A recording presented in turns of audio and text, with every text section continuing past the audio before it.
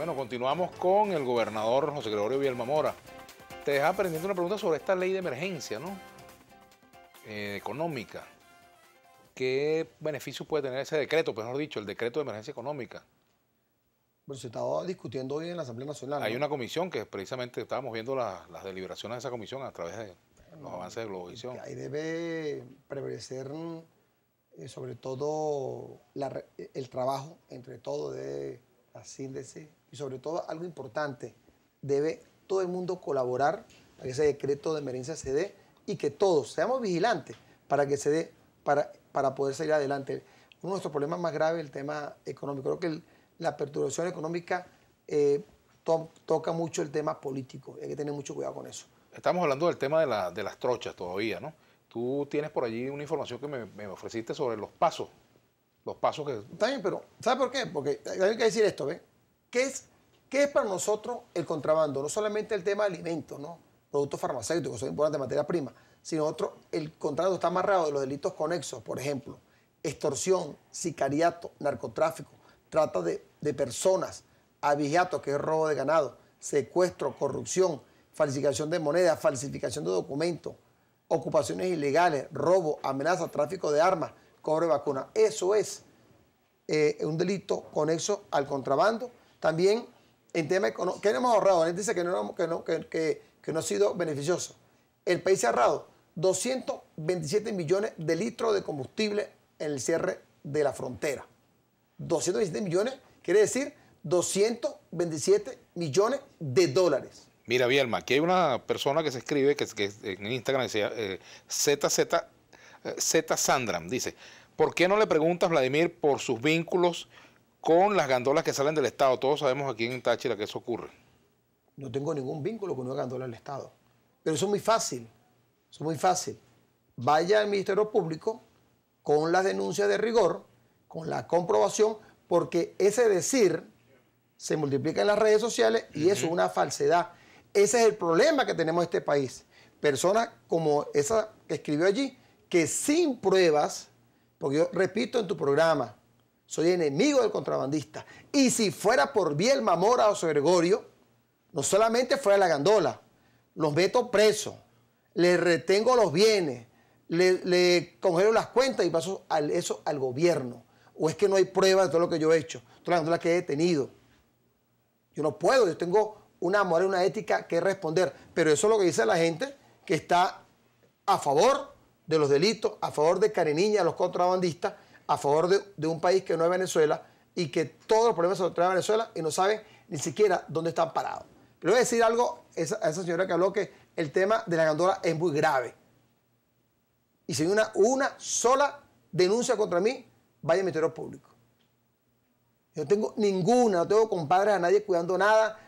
es más, no soy, no, no me asocio para ningún tipo de actividad delictual contra mi país la economía delictual. Esto es importante, la que escriben aquí, esto sí es importante. Pasos del cambio oficial en Colombia y el cambio dañino que hay en frontera. Hay una resolución 8 que el presidente Nicolás Maduro ha pedido a Colombia, incluso de mil formas hemos ido a reuniones en la Cancillería. Eso se hizo el año 2000, comenzó en abril de 2005. Ahí fue donde nuestra economía empezó a hacerse perforada. Hay un artículo, se llama artículo 75, parágrafo primero, que dice en forma descarada que puede existir un tipo o puede existir diferentes tipos de cambio en frontera. ¿Usted se imagina eso? Eso se llama darle luz verde a la ilegalidad. ¿Cuál es el tipo de cambio? Los que, los que no son tachirenses, no saben, entonces fronterizos. Son 224,8 eh, pesos. pesos colombianos por bolívar.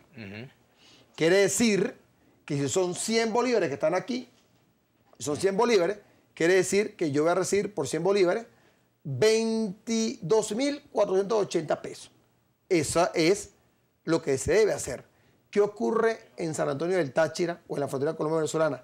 Que pagan, que pagan este billete, de acuerdo a la resolución número 8, lo pagan en 420 bolívares. Por el cambio es por un bolívar 4.2. Esa es la realidad que no saben los venezolanos. Todo lo que está aquí, los pasos que están aquí en azul, son los, pasos ilegales. Entonces, este, este, Este billete, otra cosa que no saben las personas que nos atacan sin ningún tipo de razón. Este billete cuesta aquí 100 bolívares. Este billete cuesta en Colombia 120. Este papel cuesta 120. Es más caro el papel que el costo del billete. ¿Por qué lo compran? Para meter la centrífuga del lenguaje de ellos. ¿Cuál es el lenguaje de ellos? Por ejemplo, vamos a dar la vuelta. Esta es la vuelta. Convierten 100 bolívares, lo convierten en, el cambio del dólar colombiano, después lo pasan al mercado libre, del mercado este oscuro, este mercado infeliz que nos ha quebrado la economía a través del dólar today, lo pasan, el bolívar cuesta, eh, perdón, un dólar cuesta 829,02. Quiere decir que este billete se convierte en la vuelta en 6.134 bolívares con el tema del cambio de la, corrupción, el, mercado negro. ¿Qué quiere decir? Que el Banco Central tiene con este billete que imprimir 61 billetes para alimentar, ¿qué alimenta? La inflación, ¿qué alimenta? El contrabando, el soborno, eh, compra de armas ilegales y todo, y el bachaqueo. Esto lo hace. Esto hay que verlo con, mucho cuidado. Esto sí es, esto sí es hacer patria. Esto es, esto es lo peor que nos puede pasar. Esto es más peligroso que, que se deben pasar durante un mes todo el contrato a Colombia. Por aquí te preguntan también, Bielma, ¿qué pasa con los productos que son decomisados? Que por qué no se ven en, la, en, la, en, en, el Estado. Absolutamente todos los productos que se hacen comiso. La palabra decomiso no existe. Es la palabra comiso.